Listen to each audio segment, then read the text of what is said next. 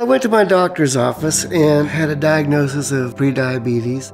He recommended I go to a nutritionist, and the nutritionist showed me the food pyramid, but I needed something more. Because of this program, I lost 20% of my body weight. I hiked, I biked, all sorts of things I would never have done before.